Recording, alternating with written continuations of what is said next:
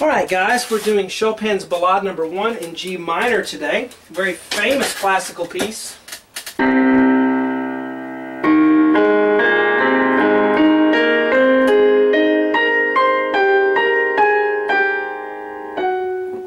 And so forth. Hello, I'm Shawn Cheek. Welcome to my sight reading lessons on ShawnCheek.com. This is actually a hired request. Uh, someone hired me to do this one specifically, uh, so I'm doing it, and it's going to go on ShawnCheek.com, all the rest of the lessons for this piece. Let me encourage you, if you have trouble reading music at all, you need to retrain your brain how to sight read better, faster, and easier, try my 132 beginner sight reading lessons on ShawnCheek.com.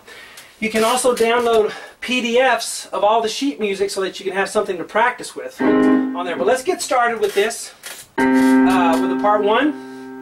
Alright, uh, so I'm going to assume you can read music if you're trying this big piece here, okay? And you, of course, can enjoy classical music even if you cannot play it as fast as some of the great piano masters, okay? even if you play it at half speed or whatever, you still can find great enjoyment from playing these pieces. We're going to start with the right hand. Uh, we start largo, pesante, so we're going to be uh, strong and deliberate and slow at the beginning of this. Even though this is in G minor, we got two flats, B flat and E flat. We're starting what's called the Neapolitan. Okay, if we're in the key of G minor, the Neapolitan is that second scale degree, the lowered second scale degree. So that's what we're starting off of. And then we then we get to G minor, we go to that 5 and then the 1. So this A flat thing here is just a Neapolitan chord. It's, it's a chord progression that's used quite common, okay, especially in the Romantic period. But anyway, we're going to start with a C on the thumb, and then uh, I'm going to count two. Now, I'm not going to do a whole lot of musical things in here. I'm mainly teaching you the rhythms and the fingering and the notes, okay? So one, two, three, and that's tied. And then I'm going to go E flat because we got two flats in key signature, B flat and E flat. All B's and E's are automatically flatted. Okay? One, two, three, E flat, and then A flat with three, B flat with four, and then middle C with five.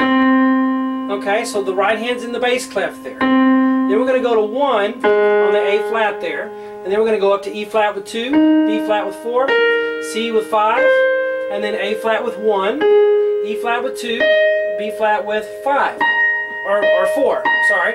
And then that's a high C up there with 5, G with 2, B flat, A flat, G, and then F sharp. And you can do, you know, the fingerings are, are subjective. Uh, what is written here is fine. Now the left hand is going to play the same thing an octave lower. Okay, so we start with a low C with a fifth finger. That's tied and then E flat with a 4, A flat with a 3, B flat with 2, C with 1, and then A flat, flat with a 5, E flat, B flat with 3, 2, or 4, 2, whatever you like, C is 1, G, B flat, A flat, G, F sharp. So both hands are playing octaves together, and you need to count it, okay? Let's do it, real slow. One,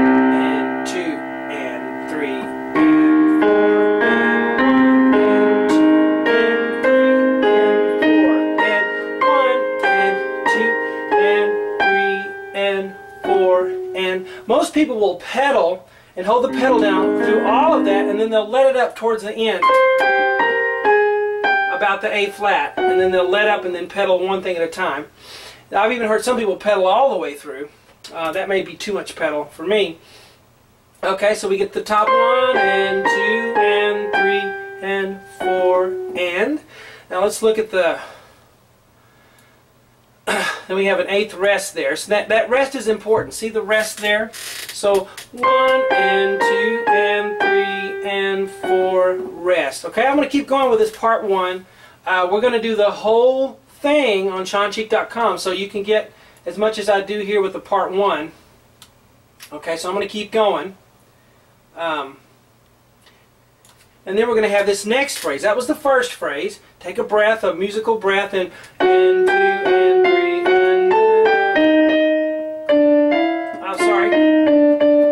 Do it again. And two and three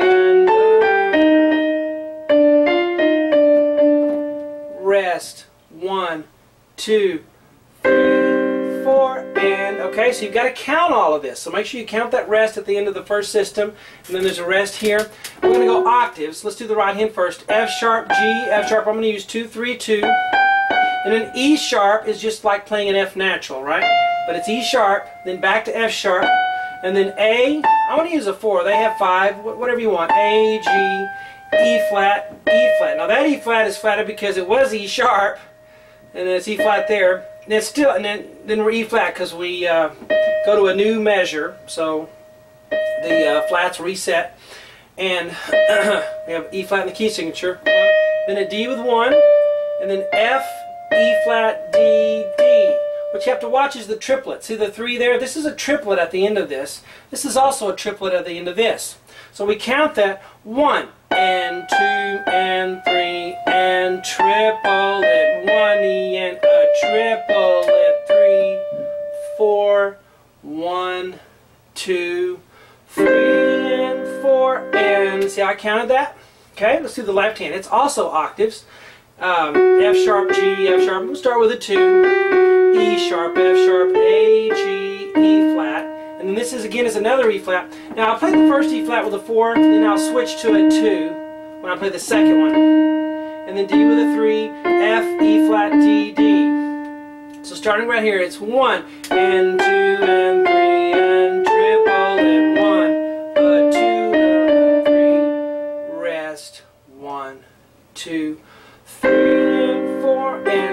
Going to make this our new starting place in a minute. But let's start at the beginning and go that far. Here we go. Go. One, two, and pesante.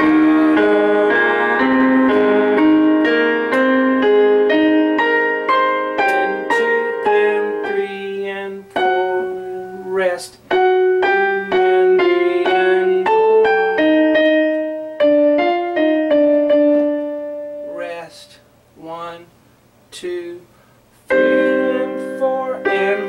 So this is our our part one here.